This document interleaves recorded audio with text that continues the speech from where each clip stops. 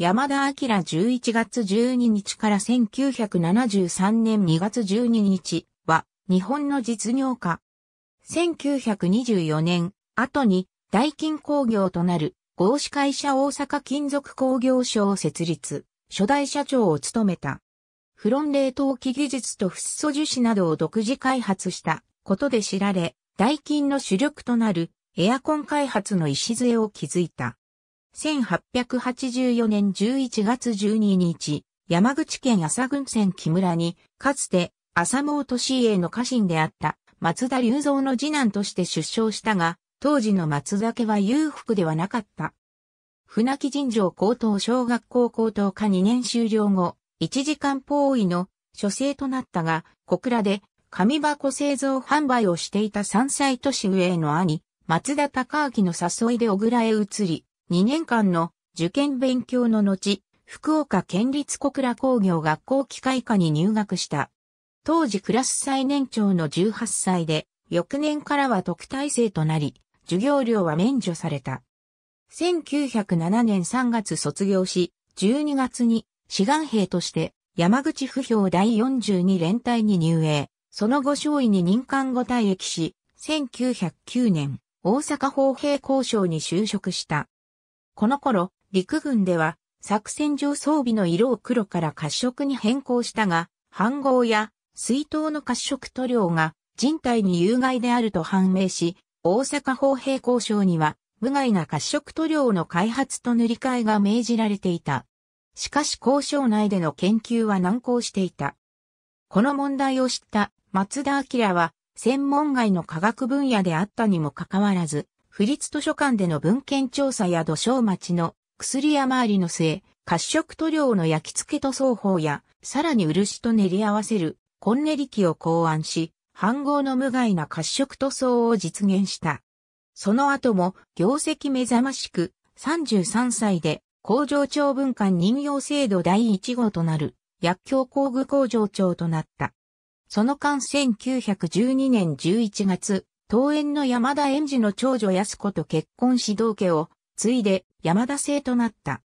しかし、才能よりも学歴を重視する交渉の風習や過労による健康障害、さらに入省以来信頼を寄せていた上司の陸軍、砲兵少佐、松井常三郎がすでに退職していたこともあり、1919年8月、大阪砲兵交渉を退職した。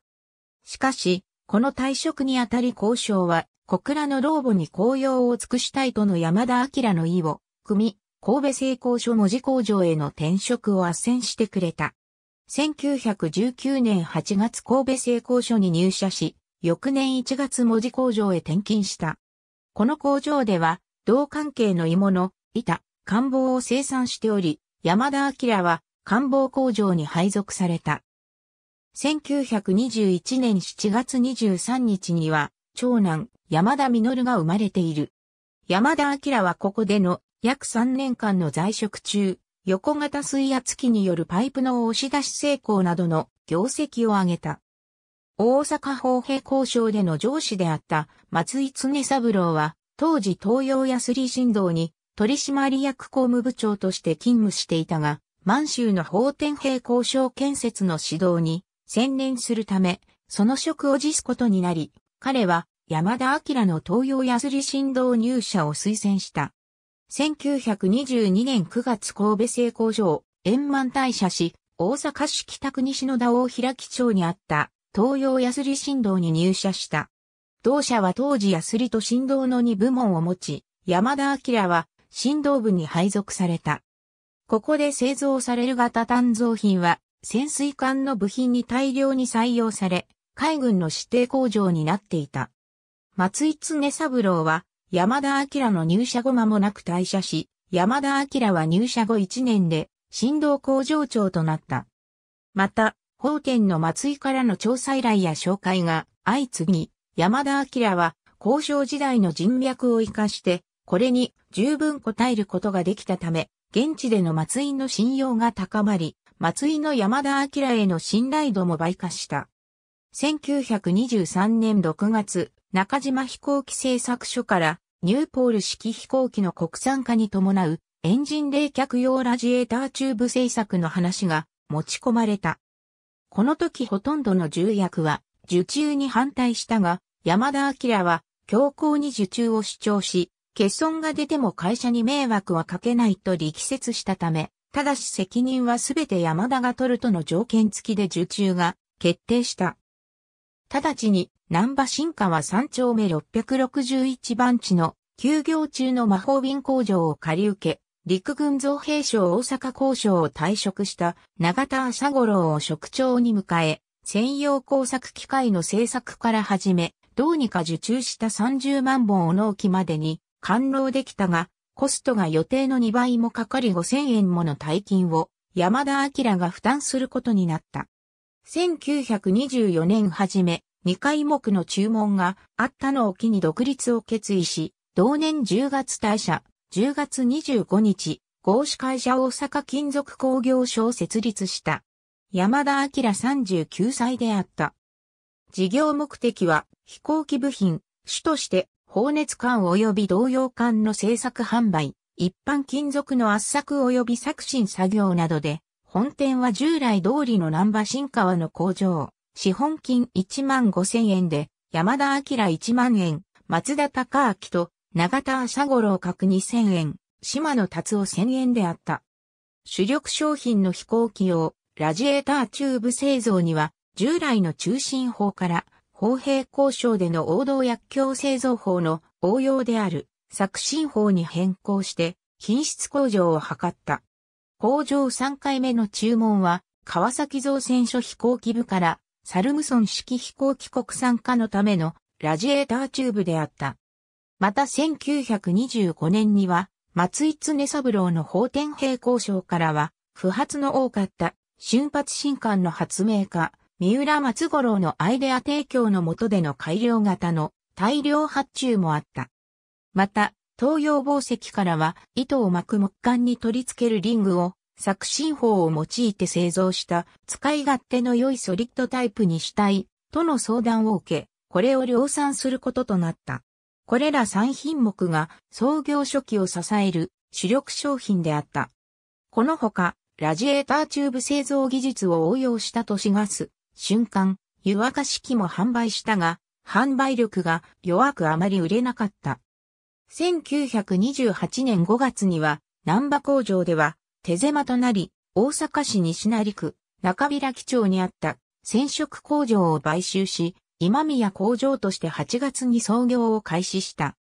その頃、陸軍造兵省大阪交渉の独占だった兵器生産の民間開放があり、1929年9月には 37mm 速射砲の薬莢受注に民間企業として初めて成功した。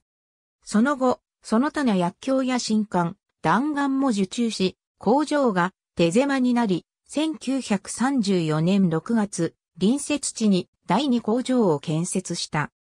1930年3月米国 GM、フリテア事業部のトーマス・ミゼリー・ジュニア博士とアルバート・エル・ヘレネ博士は、ジクロロジフルオロメタンには、毒性、腐食性、引火性、爆発性がなく冷媒ガスとして優れていることを発表し、同年8月には米国で製造販売が始まった。米国海軍はこれを潜水艦の冷凍冷房装置に採用したとの米国海軍機関士の情報は潜水艦乗務経験もある海軍少将で顧問の太田富夫から国産化の震源として山田明にもたらされた。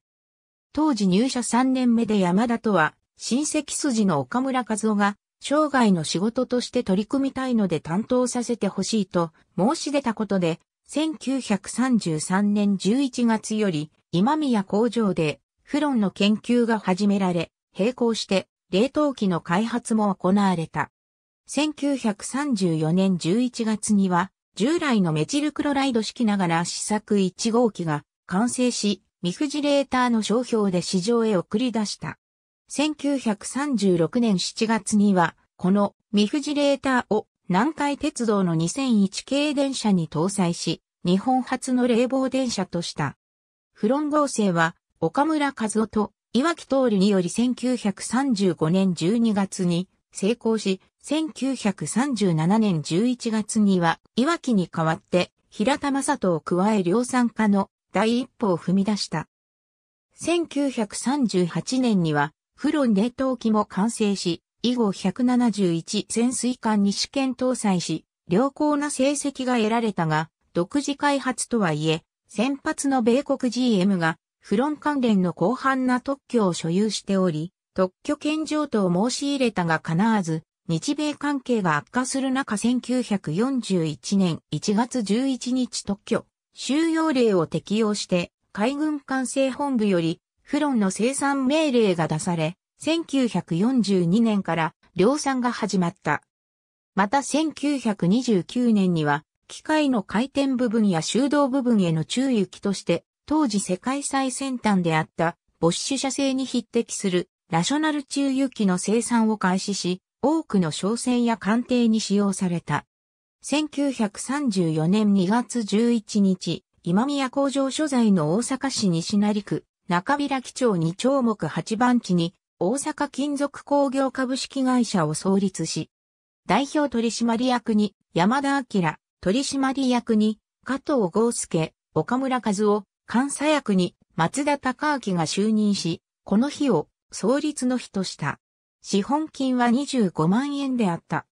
1934年7月には資本金を100万円に増資したが、この時、住友振動交換が49万5千円を出資し、住友参加となり、住友から秋田茂吉を取締役として迎えた。事業拡大とともに、今宮工場も手狭となり、1935年末、堺市の任徳天皇両南西の耳原町で、堺工場の建設に着手し、冷凍機、新艦、薬莢、中雪、ディーゼルエンジン用燃料ポンプ製造部門が順次移転し、1937年2月、堺工場と命名した。さらに1941年2月には、神崎川が淀川から分流する地点の三島郡味生村に淀川工場を航空機専門工場として開設し、1942年8月からは、フロン量産もここで行われた。1945年12月、淀川製作所の所長であった岡村和夫は、京都の第六軍司令部から出頭命令を受けた。当時戦争犯罪での逮捕が相次いでおり、本人も周囲も心配していたが、岡村はフロン製造技術は独自開発で、米国の特許上と申請も言ったが、不成功に終わったことなど語ったところ、当時フロンの調達を迫られていた、新中軍から逆に、フロンの注文を受けて戻ってきた。このため淀川製作所では1946年4月からフロン製造を再開し、ドル箱となったが、1949年6月、突然契約打ち切りとなった。同年9月には、フロン11の発注はあったが、1950年3月、第8軍によるフロン12の入札を三井化学工業に取られたこともあり、翌1951年度は僅差で落札し、1951年6月、当時特許を所有していた米国デュポン社との間に技術援助契約を成立させ、以後1957年3月まで日本国内でのフロンの独占製造販売権を得た。1950年6月25日、朝鮮戦争が勃発し、米軍より大量の砲弾発注があった。しかし、その発注をこなすには、当時の年間売上高3億円に相当する設備投資が必要であった。住友金属との資本提携は終戦後の財閥解体で自然消滅していたが、巨額の設備投資のため1952年12月、4500万円の資本金を1億3500万円に増資し、うち約30%を住友金属が保有して筆頭株主となることで資本提携が復活した。これに伴い戦時中の住友金属の社長であった春日博を取締役会長とし、取締役成功所長、土屋義雄を専務取締役に迎えた。1952年6月には 81mm 迫撃砲用榴弾30万発を受注したほか、追加分32万発、57mm 無反動砲弾など1956年までの総受注額は68億円に上り、これが戦後の長期低迷から脱する契機となった。フロンの特性に対するユーザーの認識の高まりで、各社とも1953年型の電気、冷蔵庫から冷媒を従来のメチルクロライドからフロンに切り替え、1955年には小型冷凍機分野でフロンがメチルクロライドを上回り、フロンの需要が急増した。このような環境下、品質が安定した医療生産とコストダウンが可能な無水フッ酸を使用した連続生産方式が岡村和夫と小山リーチによって開発され、1954年5月から稼働開始した。フッ素樹脂4フッ化エチレン樹脂は、その耐腐食性や摩擦係数の低さから第二次世界、大戦中米国で原子力関連機器のため軍需用に使用され、戦後民主にも解放された。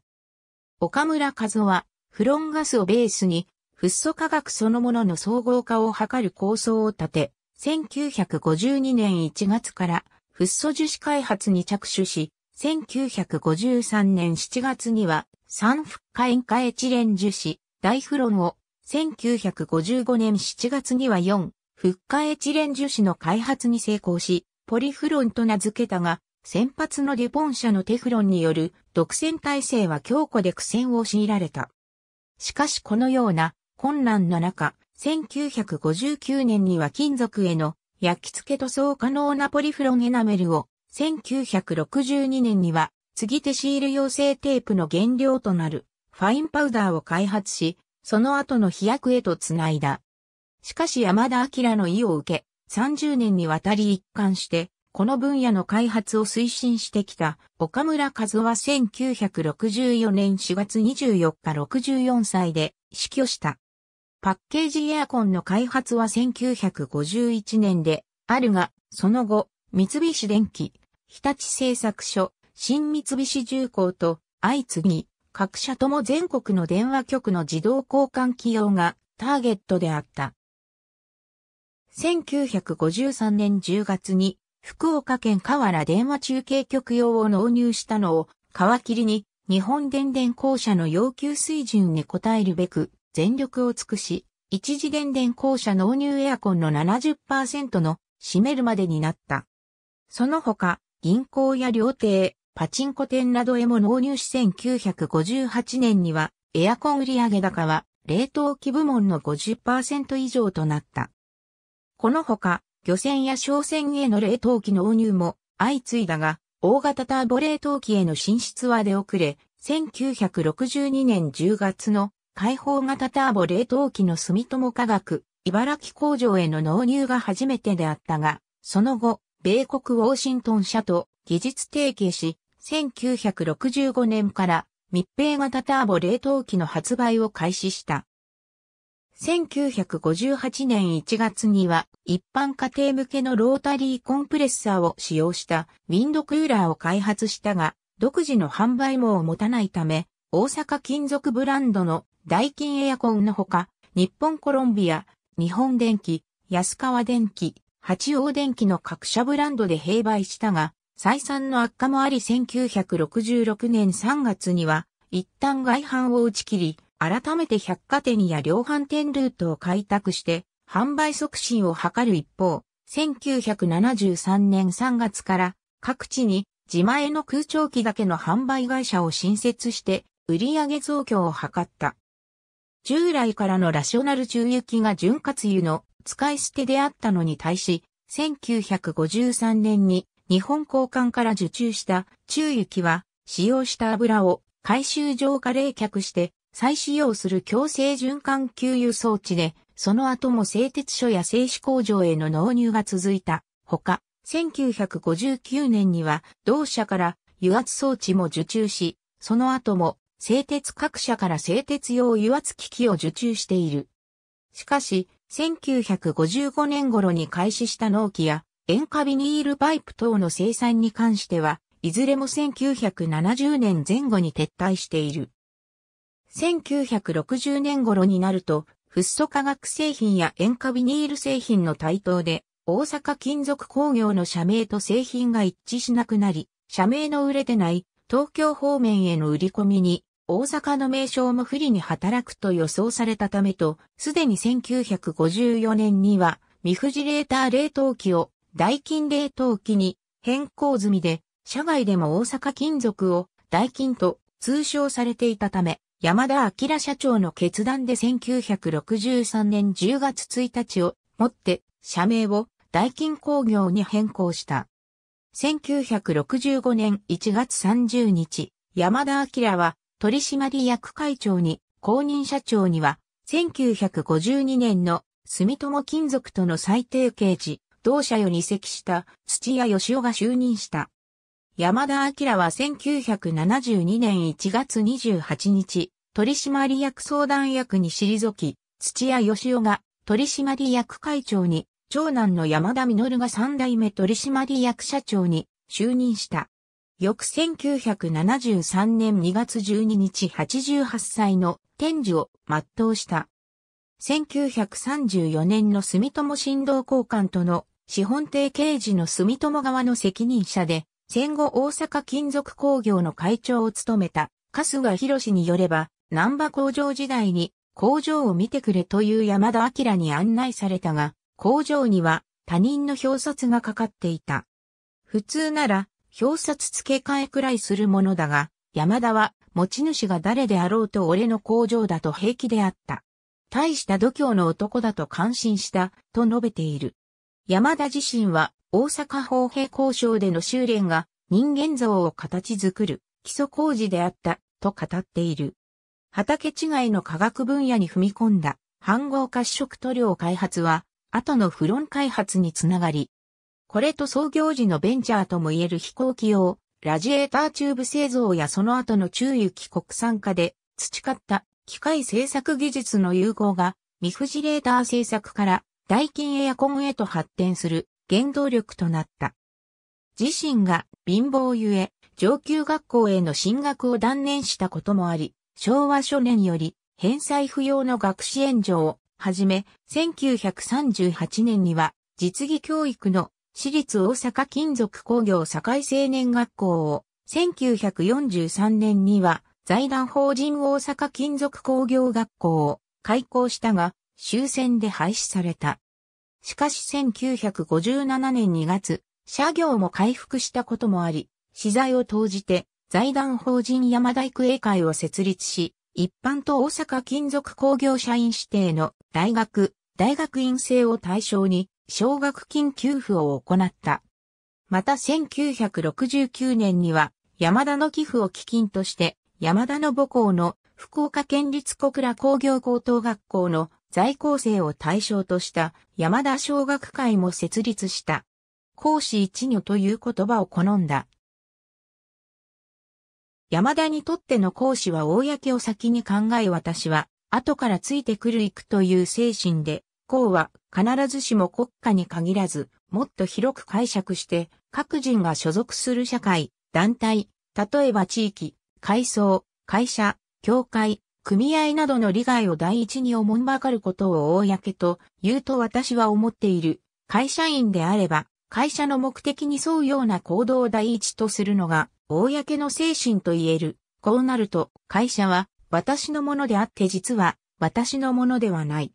社長である私を含めて、この会社で働いて暮らしているすべての人たちにとって、大阪金属という会社は一つの統合のシンボルである。このシンボルを大事にし、敬愛する精神。これが山田が求め続けた講師一女の精神であった。ありがとうございます。